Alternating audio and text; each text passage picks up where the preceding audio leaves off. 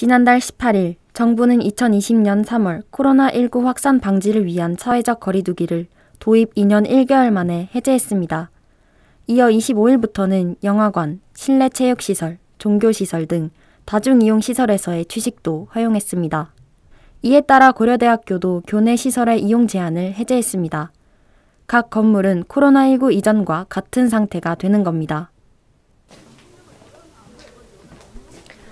보시는 것과 같이 공공정책대학은 그동안 폐쇄되어 있던 건물 측면 문을 전면 개방했습니다. 또한 세종 캠퍼스는 학생회관을 포함한 각 단과 대학 학생회실, 소모임실을 개방하고 강의실의 자유대관을 시작했습니다. 학술정보원의 거리두기 수칙도 변경되었습니다. 4월 19일 화요일부터 야간 및 주말에는 자율적 체온 측정을 시행하고 그룹 스터디룸과 열람실 사용 인원을 기존 50%에서 100%로 상향합니다. 이중 열람실은 24시간 개방으로 방침을 변경했습니다. 학술정보원 전면 개방 시행된 이후로 여기 시설 이용하는 사람들도 엄청 많이 늘어났고요. 또 저는 근로장학생으로 일하고 있는데 이 대출 반납 건도 거의 두 배 가까이 늘어났고 또 스터디룸 개방되면서 스터디룸 이용하시는 분들도 엄청 많이 오시고 또 호연 학사의 부대 시설도 개방됐습니다.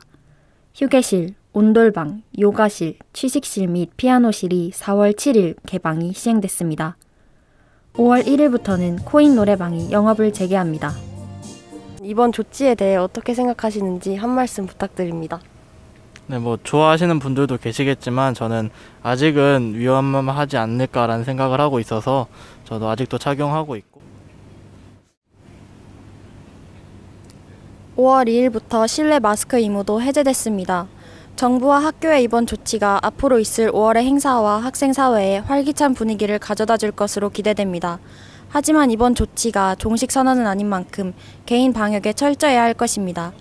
KDBS 뉴스 전세현입니다.